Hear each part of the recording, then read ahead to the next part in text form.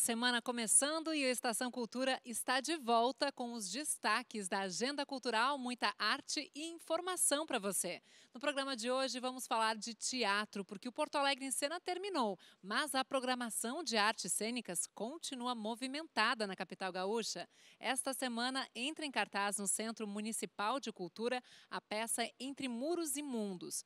E o Teatro Renascença vai ser palco para o espetáculo Sobrevida. O Estação desta segunda também tem música, claro. Vamos apresentar uma mistura de ritmos brasileiros com pop e indie, som que embala o trabalho da cantora e compositora Jalili. Mas a gente abre o Estação de hoje falando da peça Entre Muros e Mundos, quando os mundos se quando os mundos se colidem, os muros se quebram.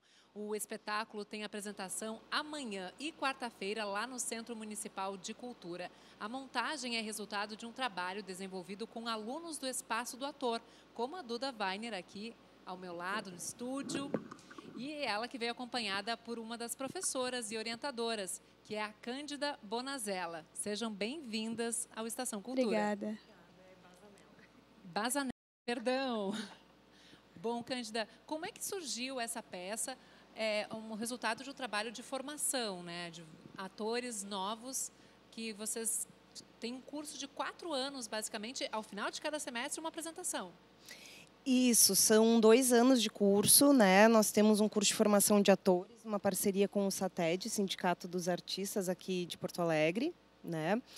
É onde o aluno que se forma ele consegue encaminhar um registro profissional dele provisório e a Duda faz parte desse curso, né? Está iniciando agora.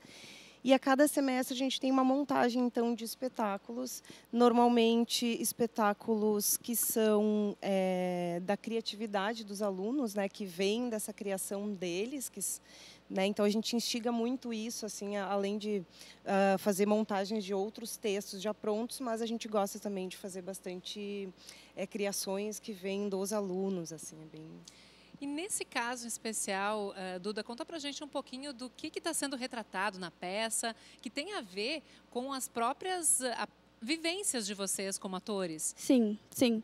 São assuntos que a gente quis tratar como que a gente passa, porque no, nosso grupo é bem diverso, nós temos muitas pessoas, cada um do seu jeitinho. Então a gente resolveu retratar dessa maneira, cada um falando daquilo que gosta e que quer retratar, coisas que a gente quer passar quer que toque as pessoas mesmo. Até por ser nosso primeiro trabalho, a gente quer passar isso para as pessoas.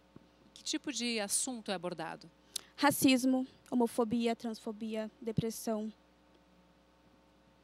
E uh, por que que vocês escolheram esse tema? Vocês como orientadores uh, deram espaço para esse tipo de tema ser encenado no teatro? Então, esse tema ele surgiu é, em função dos alunos, né? A gente sentou e começou a, a, a perguntar para eles assim, o que, que vocês querem dizer, né? O que, que esse espetáculo pode falar para as pessoas, né? Ou fazer as pessoas refletirem sobre. Então, veio muito essas questões que partiram deles, assim, e eu acho que esses temas são super atuais e realmente são válidos, né, para a gente refletir sobre esses muros que são esses preconceitos que a gente tem e que podem ser quebrados, né, o que, que a gente pode ter além desses muros, né, uhum. uh, que mundo que a gente está querendo construir hoje, né? Quando os muros colidem, os, quando os mundos colidem, os muros se quebram, né? Por isso o nome aí do, do, do da peça. Exato. E como é que vocês trabalharam esses temas, um, uh, encenaram no palco? O palco que, na verdade, é o pano de fundo de toda a narrativa, né? Isso. Tu quer responder? É, os atores estão em cena para ensaiar uma peça e a partir daí se vem essa discussão, né? Será que essa peça que a gente está ensaiando agora é válida para falar aquilo que a gente quer, né? Ele chegou à conclusão de que não, então eles começam a construir a peça que eles realmente desejam, né? Falar sobre o que eles realmente desejam, assim, né? para o público. Por que, que você, Duda, se interessou pelo teatro? Você tem 20 anos, é a primeira experiência? Não. Na verdade, desde criança, eu sempre gostei. A primeira vez que eu fiz teatro, eu tinha 7 anos. Minha mãe me colocou. Gostei, eu ia, vinha, fazia teatro, saía, fazia. E agora eu quis procurar uma coisa mais profissional mesmo. A arte sempre fez parte, na verdade, da minha vida, então não tem como fugir. Tá gostando? Muito.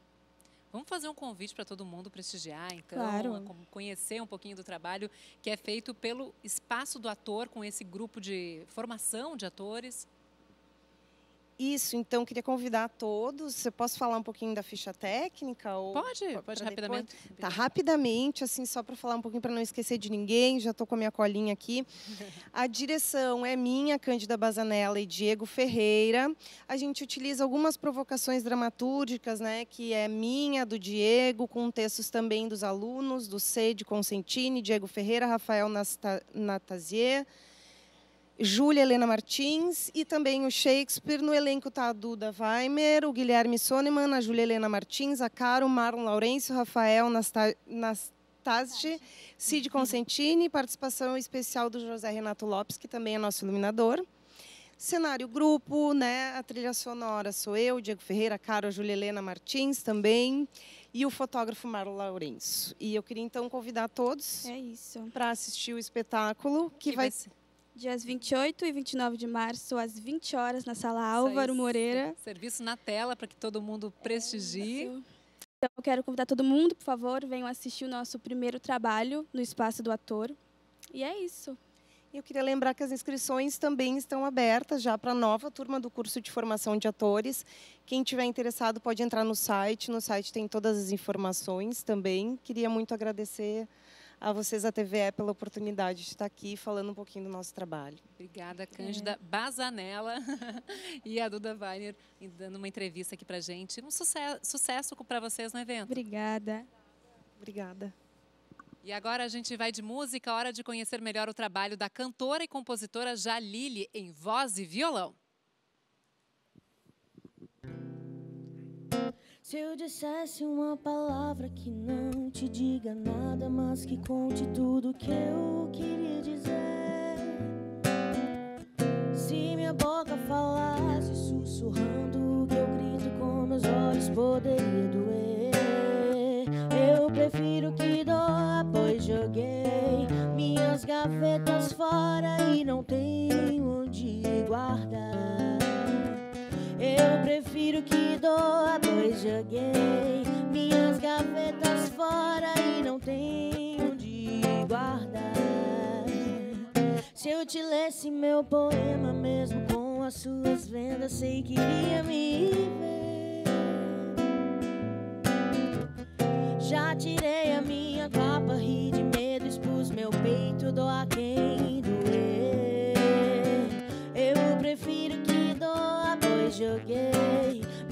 gavetas fora e não tenho onde guardar. Eu prefiro que doa, pois joguei minhas gavetas fora e não tenho onde guardar. Se eu dissesse uma palavra que não te diga nada, mas que conte tudo o que eu queria dizer. Se minha boca falasse sussurrando que eu grito com meus olhos poderia doer. Eu prefiro que doa, pois joguei minhas gavetas fora e não tenho onde guardar.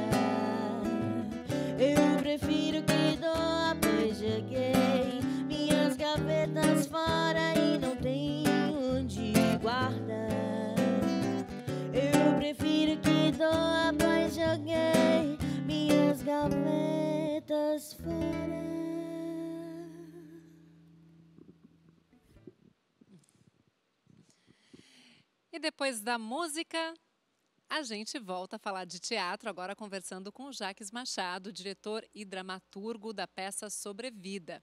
É uma montagem gaúcha que retrata a vida de um ator com diagnóstico positivo para HIV. Vai ser encenada nesta quarta-feira lá no Teatro Renascença, com entrada gratuita. A apresentação faz parte de uma turnê que está rodando o estado e passando por alguns dos municípios com maior incidência do vírus. Jaques, bem-vindo. Colega também, né? Colega, além de dramaturgo, desse todo envolvimento com o teatro, ele é jornalista. Vai contar pra gente como é que surgiu o teatro na tua vida e essa peça em especial que foi escrita durante a pandemia. Bem-vindo à estação. A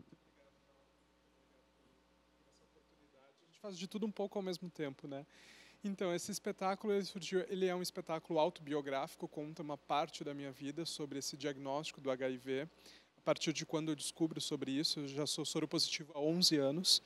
E aí, durante a pandemia, depois de uma situação de que um, um conhecido, um amigo, ele acabou descobrindo o diagnóstico para HIV, foi para o hospital, passou mal, pneumonia, internado e acabou falecendo. E a gente só foi descobrir depois que ele estava com um diagnóstico positivo para HIV e que tinha resolvido não tomar a medicação. Eu fiquei pens parei muito para pensar sobre isso e fiquei e disse assim, se ele talvez ele soubesse que eu tenho HIV, eu pudesse ser uma dessas pessoas para conversar, eu acho que é, e aí eu retornei uma vontade minha que eu já tinha desde quando eu tive meu diagnóstico, era de falar sobre esse assunto para ajudar outras pessoas a passar por esse momento. Foi aí que durante a pandemia se resolvi, até brinco, está no texto do espetáculo também, eu brinco com os meus amigos que eles iam ser os responsáveis por contar a minha história, até que eu, eu mesmo resolvi escrever isso, encenar e trazer para o teatro, que eu acho que é um, um dos locais que a gente consegue levar entretenimento, informação, emoção e tudo, tudo junto ao mesmo tempo melhor ainda que você mesmo conte essa história. E é, o título Sobrevida tem a ver com o termo que o médico usou na hora de dar o diagnóstico para ti. É até muito engraçado porque uh, médicos já assistiram o espetáculo depois e sempre falam que nunca pararam para pensar do significado e do peso dessa palavra, assim. Por óbvio, hoje ela, para mim, a palavra sobrevida já tem um significado completamente diferente do que tinha há 11 anos atrás, quando se descobre no meio de uma notícia do diagnóstico, né? A palavra também é muito usada hoje no diagnóstico para sobreviventes para câncer, tratamento de câncer também. Mas esse peso da palavra sobrevida foi muito no sentido de que parecer que a sua vida tinha acabado naquele momento diagnóstico. Sim. Então, daqui para frente, você tem só o que, o que rolar, rolou. O que acontecer, aconteceu. Um então, assim, muito grande É, tipo assim, parecia que tipo, a tua vida acabou aqui, daqui para frente a gente vai com o que der, assim. A gente está vendo aí algumas imagens da peça, inclusive. Isso. E aí, por esse, essa palavra, como foi muito marcante na época, decidi trazer ela como título do, do espetáculo, né? E a gente, por óbvio, tenta ressignificar isso todos os dias. E é muito engraçado que as pessoas, quando vão assistir, assistir o espetáculo, por mais que não conheçam pessoas ou não tenham na sua família pessoas com HIV, acabam pegando essa temática da sobrevida porque a gente é sobrevivente todos os dias a diversas situações. Se então, se identifica também. de alguma forma e a gente tem relatos muito bonitos sempre. Queria que você comentasse um pouquinho de como é que vocês retrataram esses medos, os preconceitos da sociedade também na encenação que a gente está vendo. É, ele é um esse processo depois da, do meu processo de escrita, Uh, passou por uma leitura pelos dois atores. Ela era no início era para ser um monólogo e aí os dois atores acabaram lendo o espetáculo e eu percebi, nossa, isso fica mais interessante na voz de duas pessoas. E aí essas, os dois atores, que são o Lincoln e o Chandre, eles fazem o mesmo personagem em momentos diferentes e outros personagens também da, do espetáculo. Eles passam pela criação desse espetáculo também, porque depois dessa leitura a gente faz, fez todo um trabalho corporal de, determinado para encontrar uh, no corpo mesmo, no, cenicamente, como é que esses medos, essa, como, como é que essa história ia ser contada. Então, essa criação, por óbvio, não é só minha, como direção, como dramaturgia, mas é muito da criação deles também como atores, uh, descobrindo esse processo, esse processo corporal com a direção de movimento da Angela Spiazzi que também um outro elemento que é muito importante no teatro, que é cenário, que foi pensado por, por nós, mas executado pelo Chalaco, e iluminação, que é quase um terceiro personagem nessa história, que é linda. Clima. Exato, a gente até ganhou premiação em função da, premiação, da, da iluminação, que foi idealizada pelo Ricardo Vivian e executada hoje por Edu Kramer, João Fraga e outras pessoas que vão nos ajudando e vão nos auxiliando no meio do caminho. Então tudo foi criar, é um processo e isso era uma vontade minha. Quando eu escrevi, as pessoas até me perguntavam por que, que tu não vai para o palco encenar a tua história. Eu disse, gente, eu já escrevi, eu não preciso estar tá lá contando ela, eu quero que essa história passe por outros momentos, por outras pessoas, que isso ganhe novos ares, para que mais pessoas consigam se identificar com esse processo. E como é que é para ti ver isso sendo encenado, a tua história no palco e o retorno do público? Sabe que às vezes é engraçado, eu trato assim como a gente criou essa figura do o ator, é o personagem, a gente chama é o ator. Uh, às vezes eu trato muito na terceira pessoa, parece que a história nem foi, não é mais, não é mais minha, ela ganhou uma, uma nova vida. Até no início era um debate que a gente tinha assim, isso, esse processo do, essa determinação, conceito da morte do autor, né? Porque a partir do momento que ele escreve, ele entrega para o mundo e não faz mais parte dele. Mas, tem, é, por óbvio, tem vários momentos, principalmente a cena da mãe, que é uma cena linda, a gente não vai dar muito spoiler, mas as pessoas vão poder assistir. Uh, tem vários momentos quando a gente consegue se desligar um pouco da parte técnica, porque a gente cuida tanto da parte técnica, direção, produção, iluminação, tudo ao mesmo tempo, assim. Quando a gente consegue parar um pouco e prestar atenção no que está acontecendo ali, na reação das pessoas e no relato que as pessoas trazem para a gente depois, aí a emoção bate mais forte, certamente. Deve ser muito bacana ver esse retorno do público e ver que é importante falar desse assunto, o quanto as pessoas às vezes escondem, ainda têm medo né, de compartilhar sobre o HIV positivo. É, a nossa, a nossa luta é justamente para isso. Assim, a gente, todo mundo que assiste o espetáculo sempre tem um ponto que se encontra mais, que se emociona mais. E às vezes, agora a gente tem feito debate sempre depois de cada espetáculo uh, com autoridades de saúde da cidade de HIV, que possam falar sobre o atendimento na cidade. Isso dá um serviço interessante também.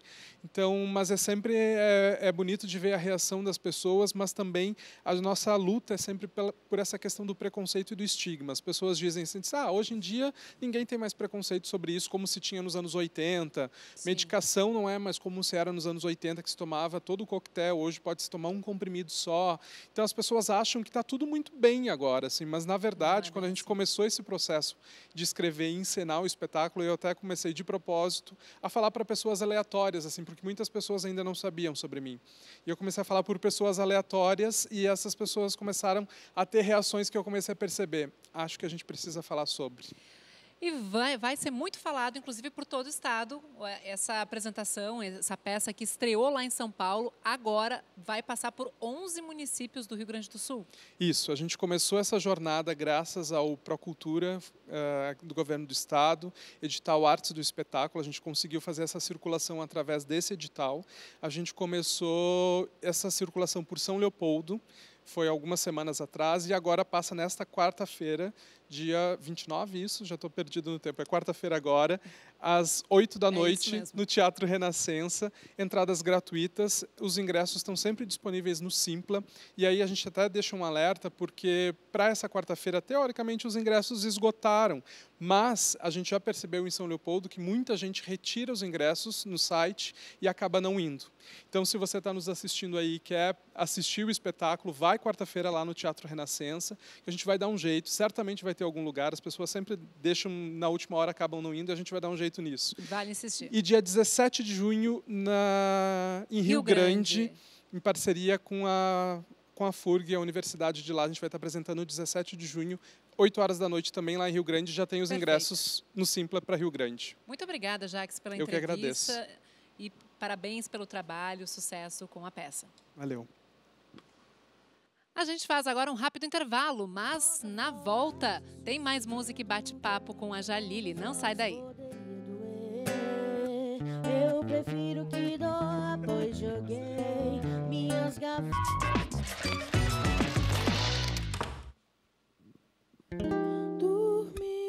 pensando que ia esquecer. Sonhei a madrugada inteira.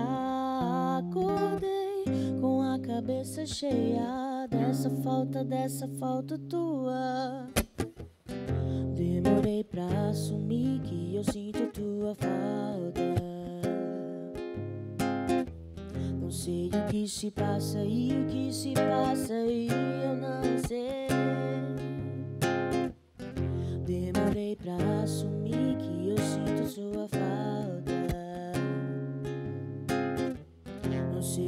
se passa e o que se passa e eu não sei. Não queria fazer mais uma música pra você, mas eu fiz. Não queria assumir que sim. Sinto tua falta, mas digo não. Não quero mais te ver. Dormi pensando que ia esquecer. Sonhei a madrugada inteira. Acordei com a cabeça cheia dessa falta, dessa falta tua.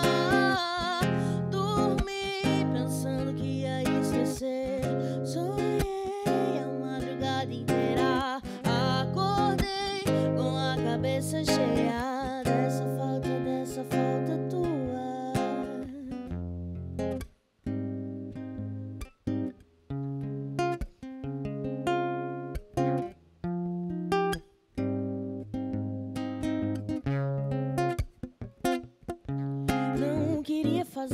mais uma música pra você, mas eu fiz, não queria assumir que sim. Se tudo falta, mas digo não, não quero mais te ver.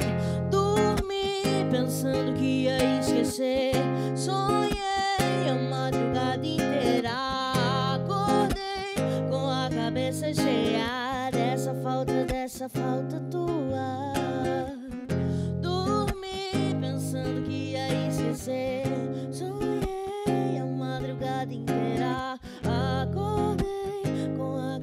cheia dessa falta, dessa falta tua. Essa é a Jalili cantando em voz e violão no Estação Cultura de hoje. Dia 5 de abril, ela apresenta o espetáculo Diz que me vê na temporada 2023 do Sarau do Solar, na Sala José Leogói do Solar dos Câmara, aqui em Porto Alegre. Jalili, esse espetáculo é uma mistura de ritmos, né? Bem-vinda ao Estação. Oi, muito obrigada, boa tarde. É, sim, é uma mistura. Eu sou de Minas Gerais, né? E, e então eu tenho influências dos ritmos do Nordeste, do Norte, ritmos da Bahia, axé. Um, e também tem muita influência do pop, assim, e do indie, né? Então eu trago isso uh, na minha sonoridade, pensando uh, nesses diversos lugares que eu existo, assim, que a minha identidade existe e tal. As letras são poesias cantadas, poesias que tu mesma escreve. São, eu, eu chamo de poesias cantadas porque não porque eram poesias e eu musiquei, não nesse sentido, mas porque eu considero uh, poesias sobre minhas vivências, assim. Eu E canto eh, os- essas vivências. Quais são os temas mais recorrentes? O que, que tu gosta de destacar no teu trabalho? Eu gosto, eu acho importante falar sobre a minha identidade enquanto uma mulher lésbica, não feminilizada, gorda, ah, sobre a minha sobre meus afetos, ah, sobre o dia a dia também, e sobre saúde mental. Então eu, eu tento trazer isso para minha para as letras e também para a sonoridade das minhas músicas, né? E por que o, o título Diz que me vê? Tem a ver com preconceito também, com uma afirmação? tem a ver com ahn, a questão da visibilidade lésbica, né? Que dentro da comunidade, até mesmo dentro da comunidade LGBTQIA+, ah, a gente se sente invisibilizada, a gente é invisibilizada, e, e não só enquanto uma pessoa lésbica, uma mulher lésbica, mas todos os marcadores, alguns marcadores, né, que, que me atravessam, assim, a questão da, do corpo gordo, pensando na performance, no palco, então diz que me vê no sentido né, também visual do, do, do tamanho e, e do espaço, mas no sentido ah, da lesbianidade também, sabe? E como é que é isso para ti, o retorno do público também ao ver eh, a tua figura aí subindo no palco e levantando essas bandeiras? Olha, os feedbacks que eu recebo são ah, de, de surpresa, assim, porque eu, eu acredito que acontece um, um certo impacto, porque ah, tu- é uma coisa que não tá, não tá nos padrões, né? Então, tu vê, ah, tu vê o meu corpo, que é um corpo grande, e tu vê essa pessoa que não performa feminilidade, mas que também tem a feminilidade ali na performance, e aí tu, tu vê a voz, que é uma voz ah, Linda, doce. é, isso, com, com esse contraste do que a gente vê, né? Com esse contraste da, da minha performance, do movimento e do, do tamanho e tal. E aí é, é mu- de surpresa, assim, e, e é, é legal receber esse feedback, porque é como eu me sinto. Eu me sinto um pouco no não lugar, sabe? Do, do não lugar de, de, de meio que ainda estar encontrando ah, como eu vou performar aquilo que eu, tudo aquilo que eu sou, nessas múltiplas Jalili, assim. Como é que começou a tua trajetória na música? Conta um pouquinho pra gente de há quanto tempo tu tá na estrada e Uhum. como é que vem evoluindo aí. eu comecei a compor né, quando eu, eu vivia num, con- num contexto religioso, que eu comecei a compor e eu comecei a tocar instrumentos e tal, com 12, 13 anos, né? Contraste maior não podia ter, né? Não Com- podia ter. E aí, ah, na adolescência, eu entendi que eu era uma mulher lésbica, que eu era uma, uma pessoa LGBTQIA+. E aí, saí desse contexto, e aí, só que eu compunha muito, assim, era uma prática que eu gostava muito de fazer e, e eu tinha uma quantidade massa, assim, de composições, sabe? Então eu também tenho essa referência gospel, digamos, sabe, no meu som. E que, de certa forma, eu tento, tipo, como é que eu vou encaixar uma coisa na outra, enfim. Muito Mas legal. eu comecei aí nesse contexto. Por isso que é uma mistura muito gostosa que todo mundo pode conferir. Então, às 18h30, dia 5 de abril. Isso aí, dia 5 de abril, quarta-feira. E depois, esse projeto Diz Que Me Vê também deve virar álbum, mas aí vocês Uhum. acompanhem nas redes sociais a Jalili, Isso, que ela vai contando mais novidades. Isso aí. E é com a música da Jalili que a gente vai encerrar, claro, o Estação Cultura de hoje. Lembrando que o programa tem reapresentação às 10h30 da noite. Mas você também pode conferir tudo que vai ao ar aqui lá na página da TVE no YouTube. Jalili, muito obrigada pela sua presença. Isso, inclusive, eu, eu posso só fazer um último agradecimento? Diga. Eu quero agradecer a Tal e Tal Records, meu amigo Kevin, que inclusive foi a primeira, foi produziu a minha primeira música lançada nas plataformas de streaming. Então, um beijo para Tal e Tal Records e todos os Talitalers. E, inclusive, essa canção que eu vou tocar eh, foi produzida pela Tal e Tal. E é isso. Tá aí, vamos ouvir então. Estação Cultura volta amanhã às seis da tarde. Obrigada pela companhia. Até lá. Tchau, tchau.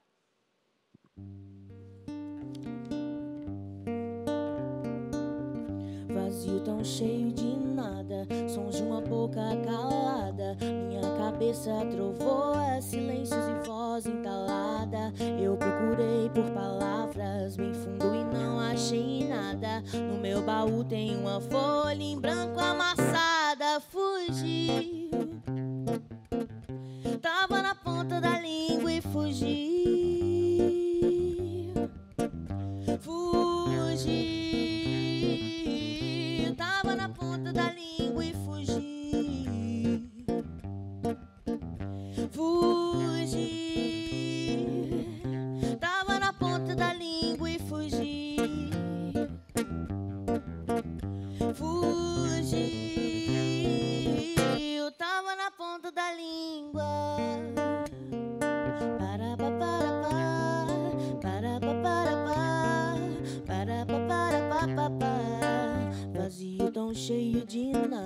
Sons de uma boca calada. Minha cabeça trovoa, silêncios e voz entalada. Eu procurei por palavras bem fundo e não achei